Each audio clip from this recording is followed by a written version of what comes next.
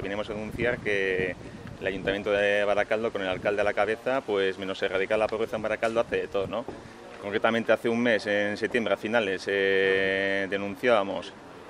que, bueno, que casi 10.000 personas en Baracaldo están, están en paro, que es un 21% de la población, que el 60% de esas personas en, paro no reciben ningún tipo de subsidio, no tienen ningún recurso a día de hoy y que además pues las cuantías de, las ayudas sociales destinadas para paliar la situación de estas personas que no tienen ningún otro recurso pues que se habían agotado aquel mismo 30 de septiembre y dejando a más de mil familias sin ningún tipo de recurso. Todo esto a sabiendas el propio ayuntamiento de que este año iba a haber más solicitudes y, bueno, y siendo la reacción de bueno la, reacción del ayuntamiento a esta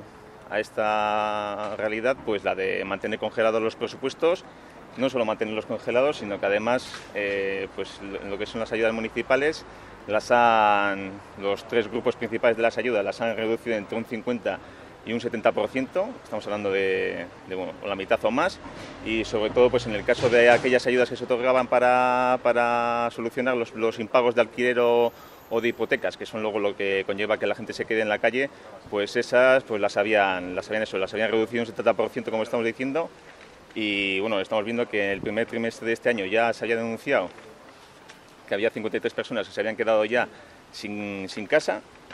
eh, y bueno, pues la, situación, pues evidentemente si, si, en el primer trimestre ha sido esa, pues dado lo que, lo que ha hecho el ayuntamiento en, el resto de, año, pues, pues eh, a finales de año nos veremos con que pues más de 200 personas se hayan quedado en la calle cuando pues el propio ayuntamiento hace tres meses decía que ninguna persona de Baracaldo se iba a quedar, se iba a quedar sin ayudas sociales. Nuevamente los políticos eh, esconden tras las mentiras su propia incapacidad, bueno no incapacidad, sino su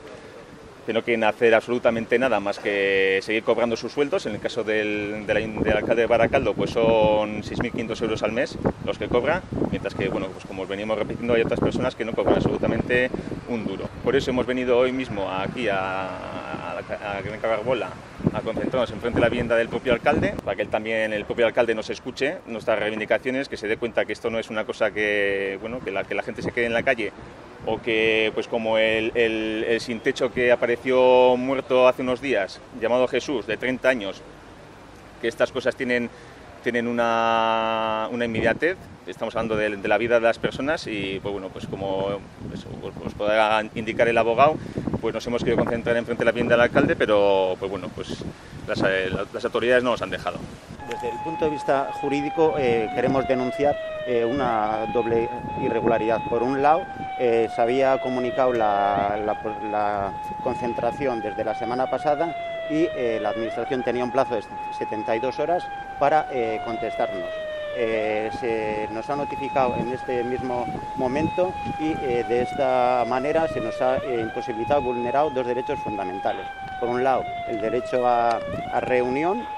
y por el otro lado y de, facto eh, otra vulneración de derecho fundamental como puede ser la tutela judicial efectiva porque eh, ahora si bien la vía está abierta para recurrir ante los tribunales eh, la realidad es que la concentración no, la, no se ha podido llevar a cabo y denunciar lo que se pretendía con la misma.